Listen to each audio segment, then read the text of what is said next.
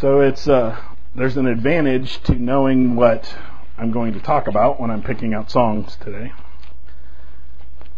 So you'll notice a theme in a lot of these songs we did. Uh, we did He Has Made Me Glad that started with I will enter his gates with thanksgiving in his heart in my heart and I will enter his courts with praise.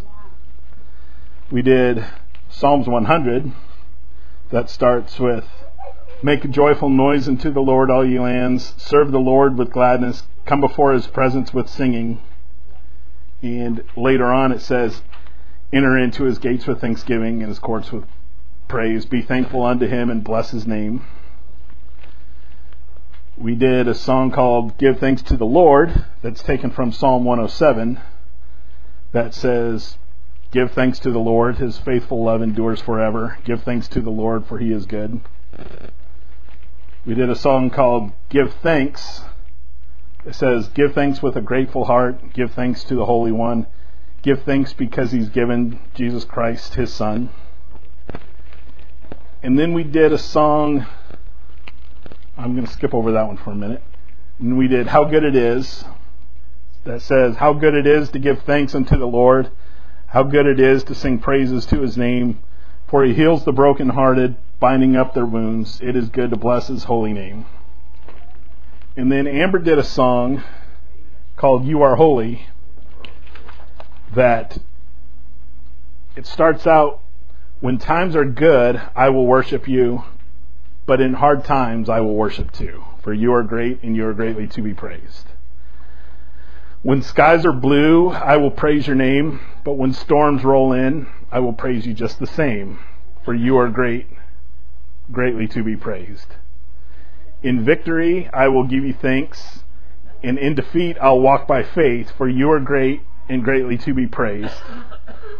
When I feel joy, I will glorify, but when sorrow comes, I'll still lift your name on high, for you are great and you are greatly to be praised. So, what I want to talk about today is in everything give thanks. And um, the very last thing I have printed on page two is a verse that I'm going to mention often. It's First Thessalonians 5:18, and it says, "In everything give thanks, for this is the will of God in Christ Jesus concerning you." So, you know, when when my dad is up here every week, uh, it's it's easy for him to to jump into studying a book because he's going to be up here every week and it he has time to go through the whole book. But when you're only up here every now and then, like I am, I have to come up with topics to talk about. So they always say, you know, you should talk about what you know, what you love. Um, I'm not up here very much, but a couple sermons ago that I did, I talked about, I used worship and worship songs as a topic. That's obviously something I know about and do often. Last time I talked, I used uh, astronomy as a topic. I can be a little bit of a space nerd. So I talked about the size and the vastness of the universe that God created and the fact that He's bigger than all of it. Well, this time I'm going to use for some examples history because I'm I'm a space nerd, but I'm probably even a bigger history nerd.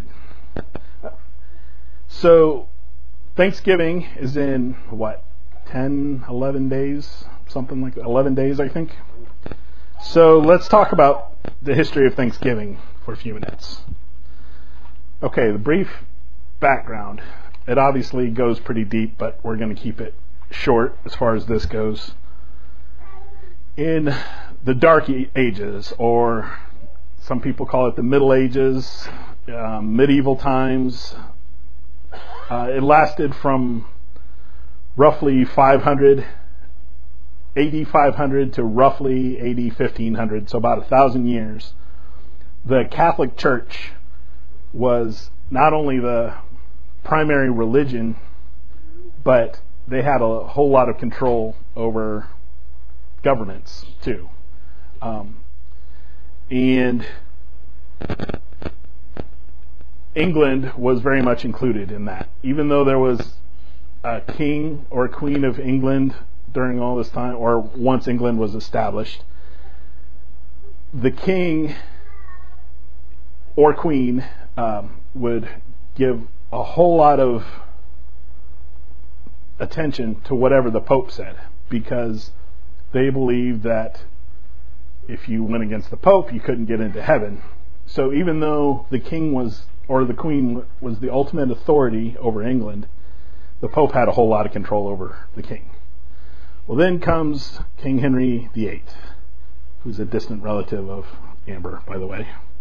Um, King Henry VIII had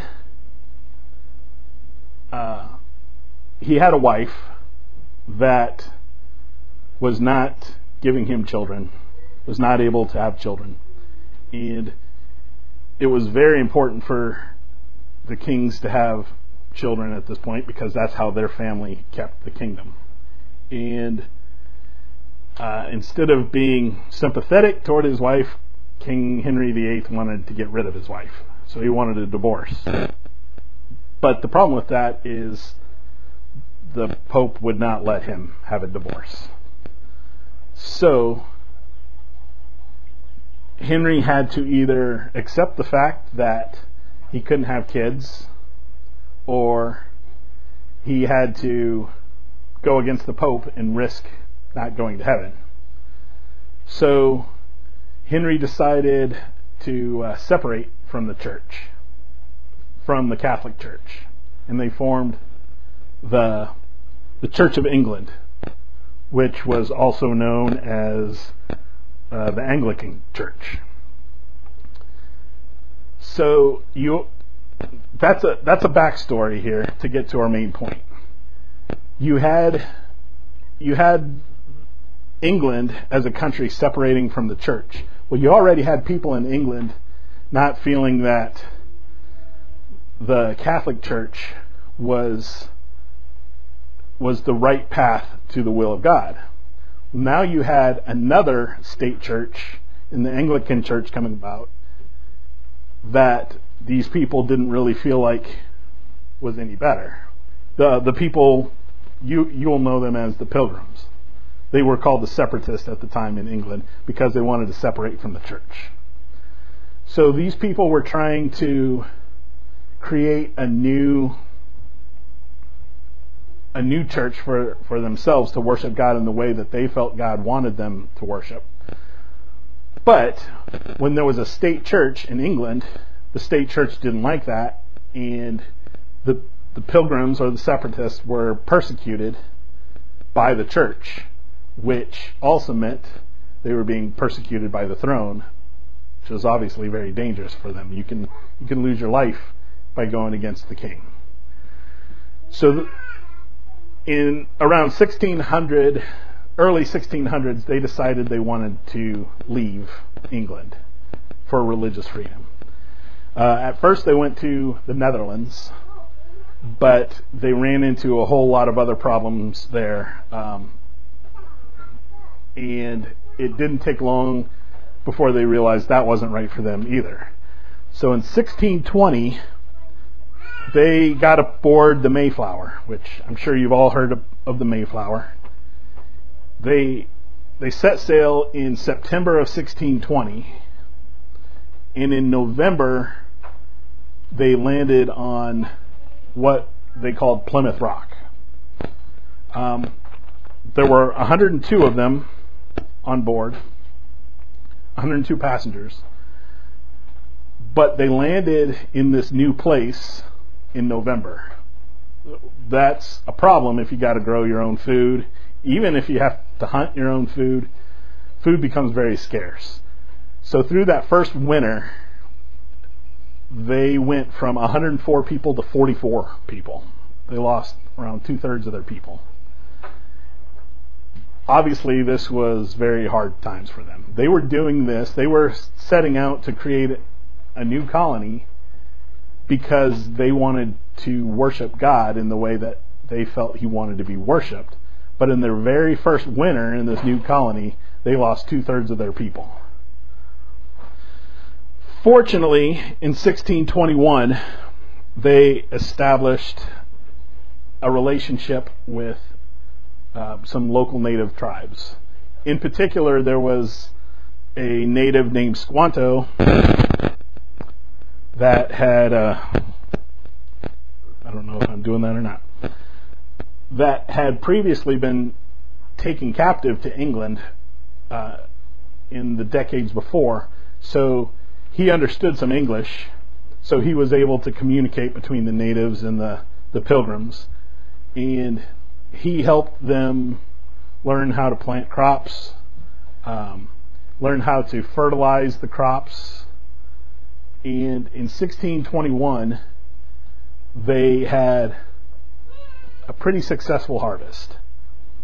So these pilgrims got together with these natives for a, a large three day feast to give thanks for surviving and to give thanks to God for providing a way for them to be able to live in the new world.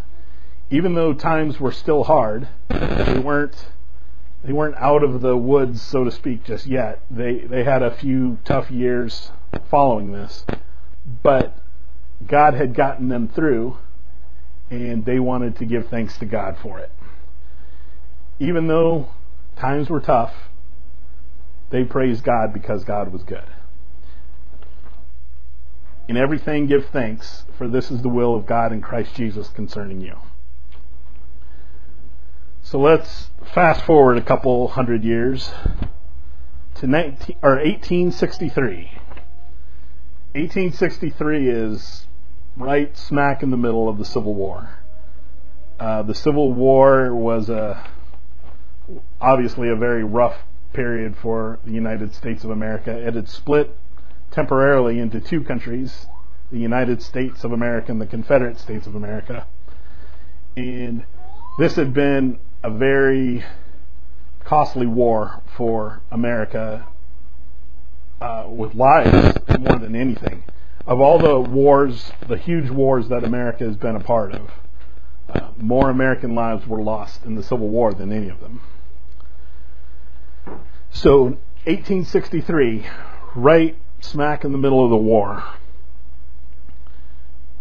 um, the Union had been not doing so well in the war, the, the North, but they had two pretty decisive victories um, in Vicksburg and Gettysburg during this time.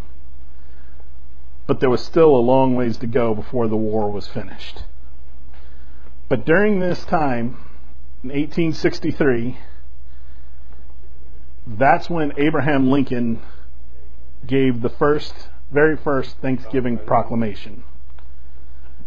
He reminded the American people that despite the war was raging, America had a lot to be grateful for.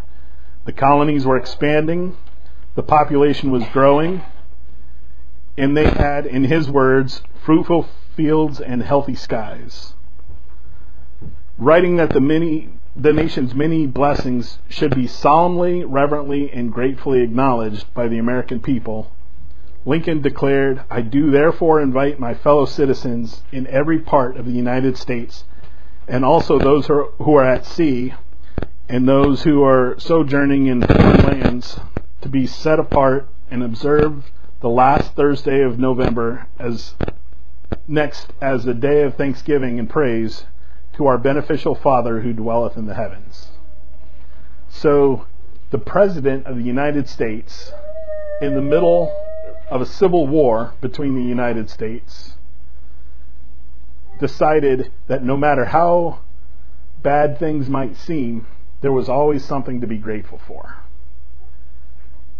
And in the middle of this war is when he declared the first Thanksgiving to be uh, set aside as a national holiday. Okay, if you flip it over, let's look at a couple examples from the Bible now. The book of Habakkuk, which I have to admit I did not know a whole lot of the history of Habakkuk before I started putting this together. It's uh, one of the minor prophets in the Old Testament, and it's just not, it's just not one of the the major stories that you hear about a lot. But what was going on at this time is um, the kingdom of Judah. Uh, Israel had been separated into two countries, Judah and Israel, and the king of Judah at this time was his name was uh, I'm going to say it wrong anyway, but I'm trying to find it on my sheet. Jehoiakim, and he had led the people of Judah away from God and into idolatry. Because of this, God was preparing to judge the nation. Babylon at that point was uh, was basically conquering the world, and they were coming for, for Judah next. They were forming one of their world empires. And Habakkuk, who was a prophet of God, he had a hard time understanding why God would use a heathen nation like Babylon to bring judgment on his own people. And uh, God basically reminded him that God knew what he was doing. Even, even if it seems confusing to us, in this case, Habakkuk, he, he knew what he was doing. And in chapter 2, in verse 4, um, that's the first time we see the phrase that the just shall live by faith. That was God reminding Habakkuk that his people need to trust him ultimately, Habakkuk realized that God was right, even if Habakkuk didn't understand what was going on. He needed to put his trust in God no matter what the circumstances looked like. So, chapter 3 of Habakkuk, verse 16 and 17, I have it printed here. It says, Though the fig tree does not bud, and there are no grapes on the vine, though the olive crop fails, and the fields produce no food, Though there are no sheep in the pen and no cattle in the stalls, yet I will rejoice in the Lord. I will be joyful in God my Savior. Let, let me read that again. Because things sound pretty bleak here, right? Though the fig tree does not bud and there are no grapes in the vine, though the olive crop fails and the fields produce no food, Though there are no sheep in the pen and no cattle in the stalls, yet I will rejoice in the Lord and will be joyful in God my Savior.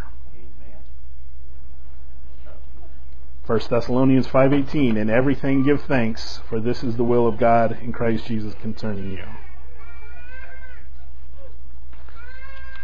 How about Daniel? We all know this story, right? The background is um, the king at the time, I'm pretty sure this was the Medes and the Persians. The king was Darius, and Daniel. Um, the the Israelites had been conquered, but Daniel had gained favor with the king through some interpretation of dreams and some prophecies. He had gained favor with the king and the king actually put Daniel in charge. Um, there were the king was separating his kingdom into different regions, and he was going to put various people in charge of each of these regions. And even though Daniel was from one of the conquered countries, he was going to put Daniel in charge of a large group of his people. Well, people that were loyal other people that were loyal to Darius didn't really like this idea. They were jealous of Daniel. So they came up with a scheme. They they got Darius. Um, th- this seemed to happen several times in the Old Testament. The the people convinced the king through the king's own vanity that Darius should sign a decree that said that for 30 days no one could give praise or thanks to any God or any anybody other than Darius himself. Well, the people that got King Darius to sign this knew Daniel and knew that Daniel was a servant of God, knew that Daniel would pray. And the penalty for breaking this decree was to be thrown in a lion's den.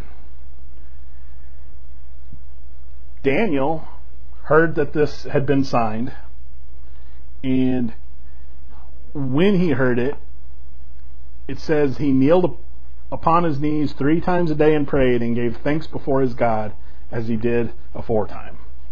Meaning, Daniel knew that bad things were about to happen. Very bad things. I mean, being thrown in a lion's den is pretty extreme, I'd say. And it didn't matter. He knew that God deserved his praise and God deserved his thanks no matter what was going on. So, three times a day, he kept up his own habits and his own traditions, and he kneeled and prayed and gave thanks to God, no matter what was going on. Because in everything give thanks, for this is the will of God in Christ Jesus concerning you. Then we go forward to Paul and Silas. You guys have probably heard this story plenty of times too. Paul and Silas were thrown in jail for preaching the gospel. Uh, during the Romans' rule, the emperor was God, basically. Um, if anyone was going to be worshipped, it was going to be the emperor, and only the emperor, or Caesar as he was known. And preaching about any other god was punishable by prison or death. But that didn't stop Paul and Silas. They they were preaching the gospel. They got caught by Roman soldiers. They got thrown in jail. They were put uh, their their legs and their arms were put in chains. But in the middle of the night, instead of talking about how rough life was and sitting around and and feeling sorry for themselves, they decided to sing and praise and give thanks. So, um, even though life was bad, even though things weren't going exactly the way that they would have hoped, Paul and Silas gave thanks because in everything give thanks, for this is the will of God in Christ Jesus concerning you. Another time, Paul was in prison in Rome when he wrote to the Ephesians. Paul went to prison a lot. That's that's a common theme when you're reading about Paul. But while he was in prison in Rome, he wrote a letter to the Ephesians which he said, speaking to yourselves in psalms and hymns and spiritual songs, singing and making melody in your heart to the Lord, giving thanks always for all things unto God and the Father in the name of our Lord Jesus Christ. Does that sound like a guy who is in prison?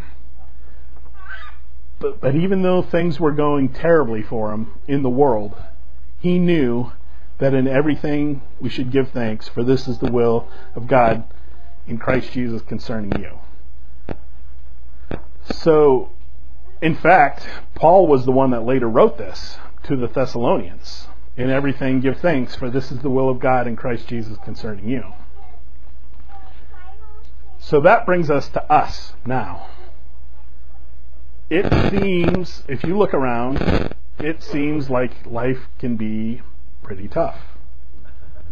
I mean, each of us in our daily lives, I, I complain about things that that in my world seem tough. I'm, I'm sure you could all point to things that in your world seems tough and overwhelming. And we forget sometimes that in everything we should give thanks, for this is the will of God in Christ Jesus concerning us. When we look at the news, it's it's depressing. Um, people are getting shot all over the place for no reason. You have fires burning up big chunks of California, people losing their homes. There are a lot of terrible things going on in this world. But we serve a God who is greater than the terrible things. And Paul said in Romans, Romans 8, that the things of this present world can't compare to the things that are coming. And that is the reason we should give, be giving thanks in everything because we need to remember that no matter what happens in this world, we have better things coming. No matter how many times we have to read about terrible tragedies in the news, we have better things coming. No matter how many times things in our own lives get us down, we have better things coming. No matter how many times life just feels overwhelming, we have better things coming. And that's why in everything we should give thanks, for this is the will of God in Christ Jesus concerning you. So in 11 days, we're going to be celebrating Thanksgiving. And as a national holiday, it is a time to give thanks for our freedom and our our ability to serve God how we choose. And it's a time to give thanks for, for the things we have. But it's also a time that we should remember to give thanks for the things that we know are coming. Because in everything we should give thanks, for this is the will of God in Christ Jesus concerning us.